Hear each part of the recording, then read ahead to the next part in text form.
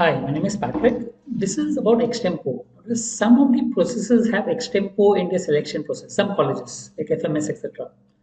So how do you, this is basically tips on how to speak confidently in an extempo.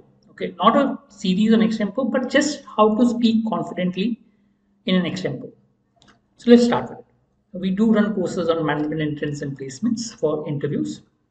Tip one, it is very common to be anxious. I mean, whenever you are in a very important process, you are always anxious. That's fine. So if you feel anxious about extempo, that's perfectly all right. The best speakers have always been anxious while going on the stage. Okay, but let it not be evident to the panelist. I mean, one way to keep yourself calm is to breathe deeply. So when you go for the extempo round, ensure that you take deep breaths. It helps you to relax or calm your nerves, and that will help you uh, to show the panelists that at least you're relaxed in the in the extempo. Second, don't speak quickly. I mean, speaking quickly is a sign of nervousness. I mean, when you're nervous, you tend to speak a little fast. Okay, and because you tend to speak fast, you will run out. You run out of points quite quickly. Because when you speak points quickly, you will realize the points are out. I mean, you don't have points to speak. So it's important to pace yourself well. I mean, on a regular interval, pace yourself. Speak slowly, and that helps to communicate your message clearly.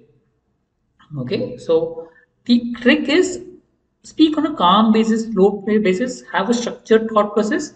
Don't speak too fast because speaking fast is a sign of nervousness. Speaking slow shows that you're more relaxed and you're able to communicate well.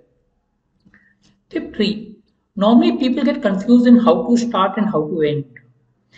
Advisable to have a standard template for start and to end for end. For start, for example, you could start with introducing the topic itself and telling the meaning of the keywords or you could start with maybe giving a historical perspective of the topic.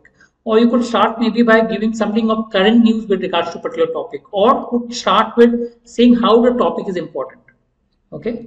This could help you reduce stress because once your template is ready you could you know have a st standard start and you can go about starting your same with the end. Have a standard end. Maybe you'd end with a solution. Maybe you'd end with a summary of whatever you have spoken. So have a standard structure with regards to what you're going to speak okay and this will also help you to structure your thought process well in the interview.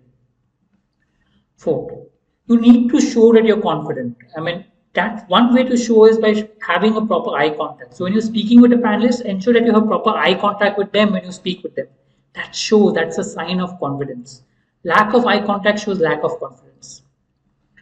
Begin with a smile. I mean smile is an amazing way to create a good first impression. So start with a smile show that shows that you're confident.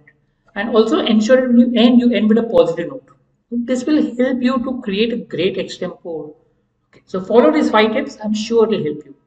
Right? We'll help we'll come up with more videos it will help you with your pi wat gd rounds right?